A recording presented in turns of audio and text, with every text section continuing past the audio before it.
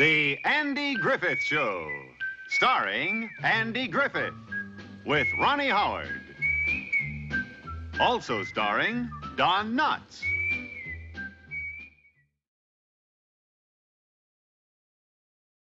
It is interesting that we see our sin issues as there's a reason for why they exist.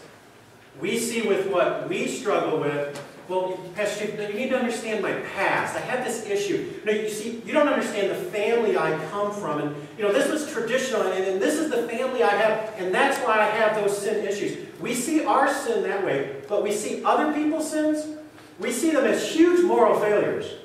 We see them as, there's no excuse for that type of action. We see them as things that need to be judged. And we're going to watch a, about a 90 second clip here.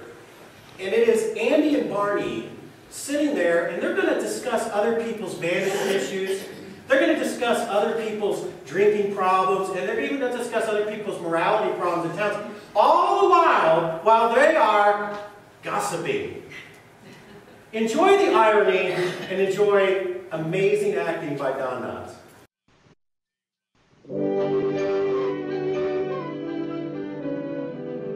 Hi, Miss Burton. Miss Barton? She's a sweet little woman, you know that. Yes, she is. Never complains. Never once have I heard the tiniest complaint from that woman. Have you, Ange? I can't say it I have. What's she got to complain of? You kidding? Sam. All the time. You don't mean it. Oh, don't strike a match if he's breathing in your direction. I didn't know that. Oh, yeah. Howdy, Dick. Dick Renaker. Hi, Dick. He's got his hat on. Yeah, I know. he must have heard on the radio where the wind might be coming up today. You know, I wouldn't wear one of them wigs for all the money in the world. I'd live in terror I was going to get caught in a sudden wind.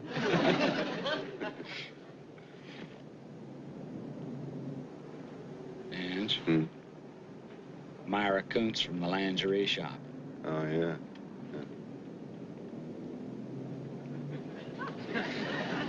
What's the matter? What do you mean? You're looking at Myra and smiling funny. Oh, well, I was just thinking, you know, you know the story that's going around about her. No, what story's that? You know. No, I don't. What is it?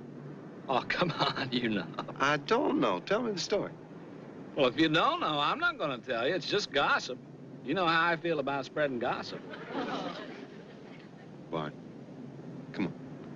Tell me the story about Myra. Well, what they're telling about her is... Oh, wait a minute. Ben Weaver's waving at us. Hi, Ben! Anyways, Myra... You know, I don't think that's a friendly wave. I think he wants us. Oh, yeah? Yeah. Come on.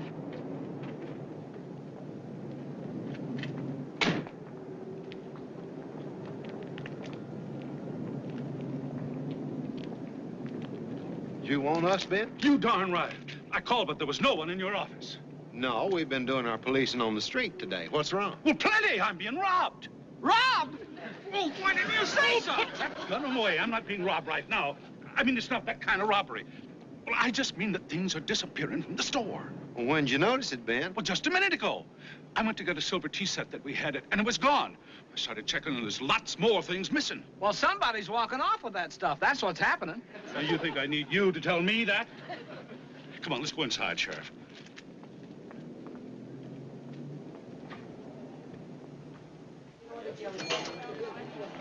Business has been pretty good lately. People have been in from all over. Uh, you just put your mind at ease, Mr. Weaver. This is just a routine police matter. Lock the doors, Andy, and I'll line them up against the wall. All right, you! Oh, Boris, Bart, you want to ruin me? Do you want to break this case or not? Just, just take it easy. Let's get back to our lesson. I just find that so funny. But what they are doing, they are really illustrating there's acceptable sin. In the middle of discussing everybody else's moral failures and vanity and other social problems that they have, they're doing what we sort of call acceptable sins. And, and as that man kind of came over frantically waving, I kind of feel like that's my job today. To sort of, while you're in the middle of doing your acceptable sin today, your churchy okay sin, I feel like it's me, my job to come over and kind of wave at you and sort of get your attention today. Our Mayberry moment, if you're taking notes, is this. All my life needs to be scrutinized by God's Word. All my life needs to be scrutinized by God's Word. Now, let me give you a couple things about gossip. Our lesson isn't about gossip, and it's not even about this other particular sin we're going to compare it to. But let me give you a couple things. Old Testament, Proverbs 20. There's so many things about it, but here's just one. Whoever goes about slandering, revealing secrets, therefore do not associate with a simple babbler. Uh, here's another one. In, in 1 Timothy 5, I'll just read you the last part. And not only idlers, but gossips and busybodies, saying what they should not. Um, we do not, what we do is we compartmentalize sin. We break it down into categories. And listen, every sin has a different outcome, but we compartmentalize it. We go, this is really bad. That's a horrible thing. Well, this is not so good, not so sad. Well, this, you know, it's kind of, come on, this is America. This, this just sort of happens. And we compartmentalize sin. If you're taking notes, this is very important. There we go. All sin does not have the same consequence, but is still wrong. Uh, it, can I you get a speeding ticket. That's sin. It's a mistake. You murder someone. In Texas, they execute you. All right? You would not want to be executed just because you were going five miles over the speed limit. But both are breaking the law. Amen? Both are sin. The consequences are different. Listen, lying to, on your tax uh, forms is a sin. Lying to your wife when she says, "Does you know? Do I look?" Lying that moment, it might still be a sin, but the consequences are going to be different. I think God gives special grace and dispensation for husbands, only in that area. But, um, but let me just talk for a second. Romans chapter one. The majority of that chapter will deal with alternative lifestyles. You'll see what I'm talking about. If you've been in the church long enough, you know Romans chapter 1 deals with an issue that we deal with today in our society. It was a big cultural event. And by the way, no society has ever lasted with open uh, issues like this that are just culturally and socially accepted. The Romans ended when they opened it up and said it was fine to do and they culturally accepted it. No society has ever survived when they come to this point morally, when they say, fine, go ahead and do this, it's not a big deal. And by the way, just a side note, you're not supposed to say this, and you'll get people mad at you because there is no answer. Um, they were born that way. That's the exact same thing the people from NAMBLA say, North American Man Boy Love Association, who are in favor of men and small children engaging in physical activity. They say we were born this way. That's the exact same thing every child offender, that's the exact same thing they say. I was born this way. Now, they may come a time when they find that gene. There may come a time when they say that, that, well, you have a genetic predisposition and stuff. But people are born with in, in issues and tendencies. Long line of Irish drunks. I know that drinking would be putting a gun to my head. I know that I follow the family pattern. That does not give me an excuse. Amen? Amen. I was born this way. Well, that's the exact same thing other people say also. Um, but with that in mind, Romans 1 being about that particular issue, watch how this ends. Just, just grasp this. I'm going to throw this up here. Romans 1 does this. This is the end of talking about all of this. It says this. They were filled with all manner of unrighteousness, evil, covetous, malice. They were full of envy, murder. Remember what this is the context of what he was talking about to the Romans murder, strife, deceit, malicious. men. These are really bad people, and they've already done this. And then he ends the verse with this they are gossips. The Apostle Paul, with all of this, and with what Romans chapter 1 is dealing about, that horrible sin, he just sort of at the end goes, all this bad, bad, bad, horrible, horrible, and he throws this in too, and they're gossips. What we like to do, we select which issue will outrage us. Barney and Andy sitting there in the police car. We sort of see it, and it is funny, them, them talking about it. But they're sitting there, and what they're doing is gossiping. And God puts it on the same level He talks about it in the same, and it's still sin. If they were sitting there in the police car smoking crack, we'd be like, oh, I can't believe they were doing it. But yet, it's gossip because, well, you know what? Those are sins we like to do ourselves. I want to give you an example, and keeping on that same vein of, of, of that issue that I'm sure most of you have, don't struggle with. Many of you probably don't know too many people with it. But on that same issue, I want to give you an example of what we like to do. Galatians 5. These are, I'm going to give you a couple verses that basically say these people aren't going to heaven. Let me give you a couple verses here. You'll see it, you'll see that something's missing. All right, Galatians 5. Now the works of the flesh are evident. Impurity, idolatry, sorcery, eminent strife, rivalries, dispensation, dis dissensions, divisions, envies, orgies, and the like like these. I warn you, as I warned you before, that you do such things will not inherit the kingdom of God. Well, that sounds like a good list of people who aren't going to heaven. It's basically Paul saying, if, if you're doing these things, you're not saved. There's no way you can be involved in these things and stay involved. That's the key. Stay involved for a long period of time and be saved. But what I did is I kind of pulled out some other things that, well, maybe those aren't as good. Uh, sexual immorality. Stuff we look at on the internet. Pastor, it's, it's just couples live together now. It is too much to expect our young people to be pure before they get married. But sexual immorality, um, jealousy. How about sensuality? Can I stop there and talk about how ladies dress? Sensuality, jealousy, none of us have ever been jealous. How about fits of anger? Well, no, but see, I hit my hammer on my thumb. But you don't understand my son. He really gets on my nerves, and not mine. But fits of anger. Uh, how about drunkenness? America's pl plagued with, you know, I realize that in our country today there will be a year, there will be somewhere around a thousand or so deaths because of guns. But you realize every year there's over 100,000 deaths as the result of alcohol? We just, oh, okay. We just, it's normal, it's acceptable. Let me give you another example of what we do, how we categorize. Here's 1 Timothy, kind of the same thing. Understanding this, that the law is not laid down for the just, but for the lawless. And for the ungodly and sinners. Yeah, those are horrible people. And the ungodly and the profane. Yeah, get them, but God get them. For those who, their fathers and mothers, for murders. And the men who practice homosexuality. Oh, that's disgusting. We hate that. That's horrible. And enslavers. Yeah, people who enslave other people. That is bad. And perjurers. Yeah, I would never commit perjury because nobody's going to put me on trial. And in accordance with the gospel and the glory of the blessed God, which I have entrusted. These are people to stay away from. These are people, but I skipped over things that we, uh, disobedient. Uh, uh, hey, if you're a parent of a teenager, let's pull this verse out.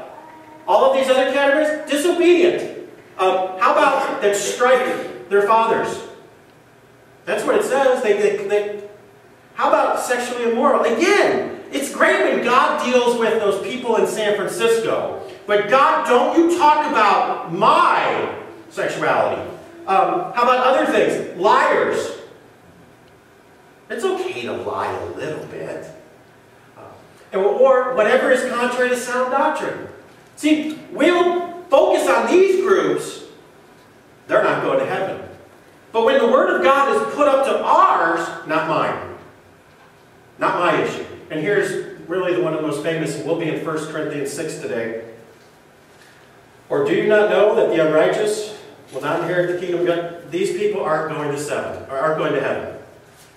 Do not be deceived, neither the, let's skip over that one, nor idolaters, yeah, that's not us, nor adulterers, probably most, not most of us, nor men who practice homosexuality, that's gross, disgusting, I hate that, ooh, gross nor thieves. Yeah, Pete, someone stole from me. I hope he does go to hell. Nor the, let's skip that, nor the, let's skip that, nor the revilers, nor the swindlers will inherit the kingdom of God. But again, in context of all of this, again, see, we don't have a hard time of looking at the people walking down the parade and, and, and the city parades in San Francisco and just the ridiculous and going, look at that. There's no way they're going to heaven. But yet the young couple who kind of experiment before they get married, sexually immoral. How about the greedy? We talked before about materials a few uh, weeks ago. Greedy is the center of our economy. And how about, again, drunkenness? Not mine. It, it, it's, it's true, these are bad things, Pastor Steve, but not mine. What I want you to do today is how to see your sin. How to see your sin. And you do sin, amen? Amen. You are a sinner. It, you are not a sinner because you sin. You sin because you're a sinner.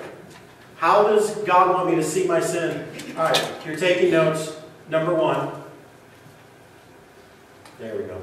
As something God can change. Verse 11, 1 Corinthians 11, uh, 6. I've had people in the ministry and pastors and stuff say uh, that homosexuals can't, alternative lifestyle people can't get saved. Not possible. Uh, reprobate mind, God gave them over. Impossible. And, and everything. But verse 11, right after all of that horrible list, look what he says. Paul says to the church at Corinth that got everything wrong. I'll throw it up on the screen. And such were some of you. All that long list of horrible things that they were and how they acted, Paul says, you used to be one of them. And by the way, Christian, let me just remind you, there but for the grace of God. You didn't have that father. You didn't have that mother. He said, but there's no excuse, and I'm not making excuses for it. But when you don't, listen, when you have an overbearing mother and a father who is absent and leaves you, it will alter your lifestyle. It will alter your thinking. If you have, listen, when your mother does things to you as a young boy, it will damage you drastically. It's not an excuse.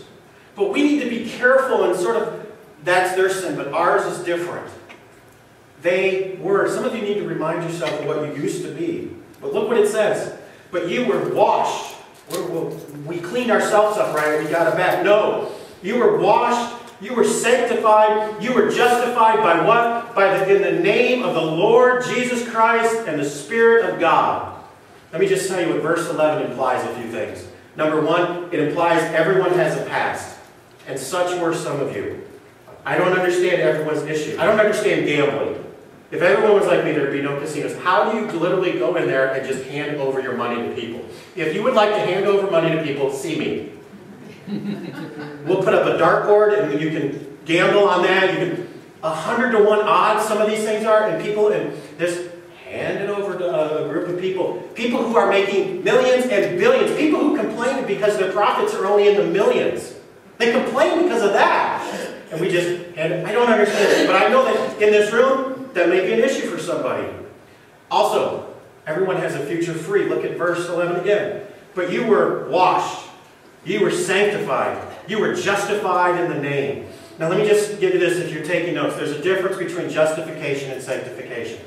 Justification takes place at salvation. When you accepted Christ as your Savior, you became justified, just as if you never sinned. God no longer saw you, your sin. He no longer saw you the way you were. He saw Jesus. You were covered in the blood. Amen? But sanctification is a lifelong process.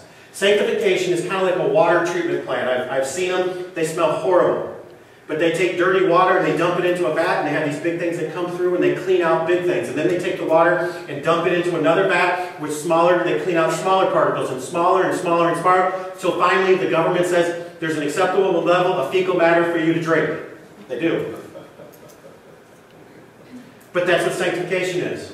It's the process, hey, I got saved with all of these issues, and God through His Holy Spirit, God through His Word, God through my church, God through the preaching, God through my pastor, God through the elders, God through the deacons, God using all of these things He's given us and gives us, starts shifting through our lives, and those big things start coming out. Those big issues start. And then he starts dealing with the smaller issues and the smaller and the smaller. Until finally he comes down to a Sunday morning at 9 o'clock and starts talking to you about gossip. Okay. Number three, everyone needs Jesus. Verse 11, and the Lord Jesus Christ and by his Spirit our God. Salvation is a free gift. It comes down to Jesus. Now, I am for counseling. I am for medication. I am for people having something. There's chemical imbalances. There's issues you're facing. It's medicine. I am for all of these things in your life, but I am first for you going to Christ with it. Right. The, the doctor is great, and I want you to do that. In fact, even if it was cancer, I want you to see your doctor for cancer, whether it's depression or cancer. You need to go see your doctor.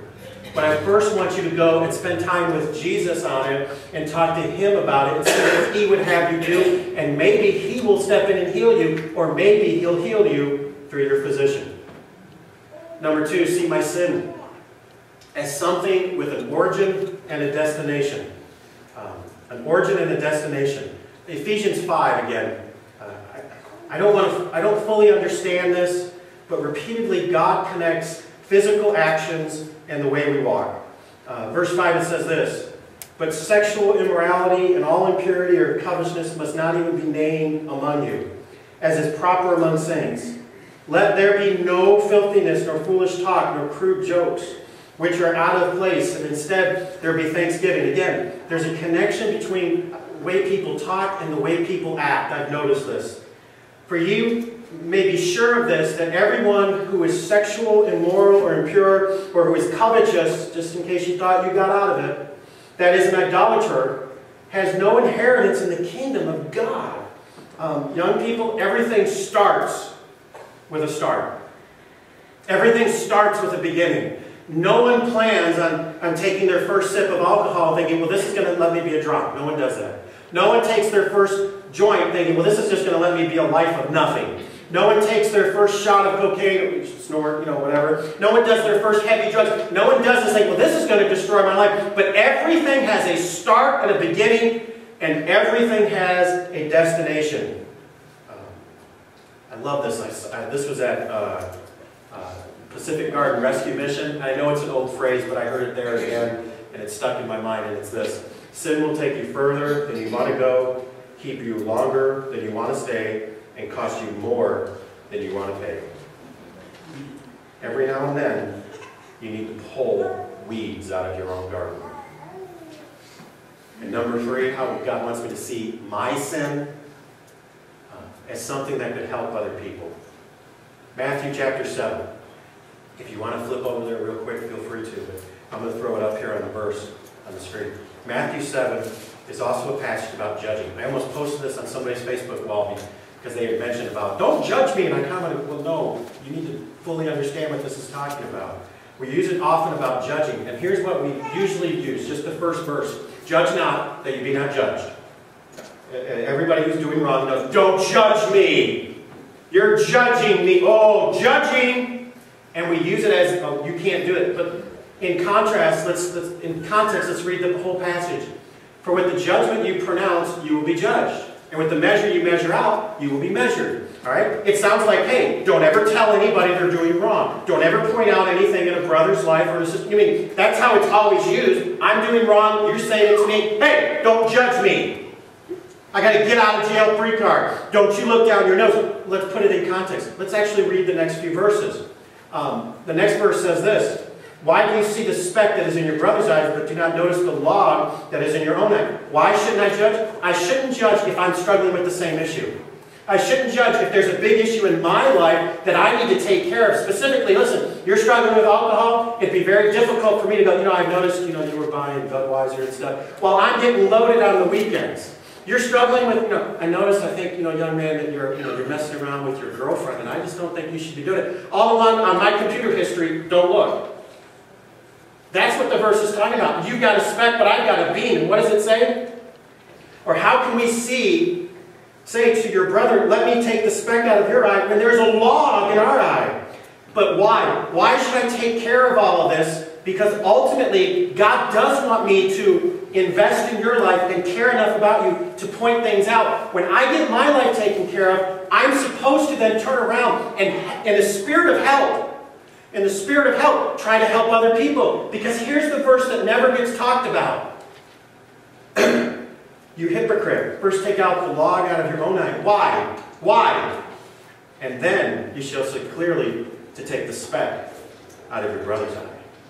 The reason I'm not supposed to come to you with my own sin issues and my own problem is that I need to take care of it, not just for my own good, but when I take care of it, now I can deal with the issues you're struggling with. I can see it clearly for your benefit. Nobody ministers to alcoholics better than people with an alcohol problem. Nobody ministers to addicts better than people with an addiction. Nobody ministers to single moms better than people who are single moms. I need to look at my sin as a way that I've struggled with and I've dealt with it and I've taken it to the cross. I need to look at it as a way that I can now minister to someone else. This, as I close, is Sy Rogers. I encourage you to YouTube him. I disagree with him on some spiritual gifts issues, but I, I love listening to Sy Rogers preach. He makes me feel bad every time. Sy Rogers, maybe you can't notice from there, but there's, I, there's other pictures I didn't want to put up that he does show when he speaks, um, is a former alternative lifestyle person.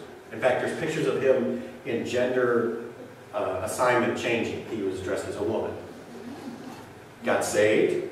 You know, he got, got saved particularly through two people who were living together immorally and started to read the Bible and then called him and said, what we're doing is wrong. We've separated and we've accepted Christ as our personal Savior. And that's one of the things in his testimony.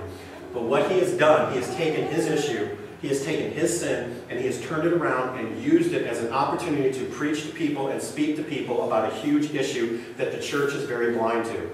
And I want to show you a little video clip of him. Some of it's funny. I just thought it would be good for you to see. But how God took his issue, his sin, and used it so he could even reach his own dad bring uh, upon him. And and he just said my son is dead and i don't want to see the woman you think you have to be. So the fact that my dad and i got reconciled is no small miracle. And not only reconciled but i had the privilege of leading that man when he was 79 five years ago on father's day weekend. I got to lead him to the lord jesus and baptize that man myself. God proves himself to be bigger than broken relationships. And that's why, in your own history of broken relating, you give God opportunity to write more chapters because it's not the rest of the story. You fall down, you get up, you get dirty, you wash off. Just don't quit. I'm glad I didn't because if I had given up, I wouldn't have seen the redemption of God in the story of my parents. Your past is an opportunity to minister to other people. But before that can happen, you have to deal with your issue. You have to hold up God's Word, His Spirit, and ask God to show what needs to change. Not mine. Not mine.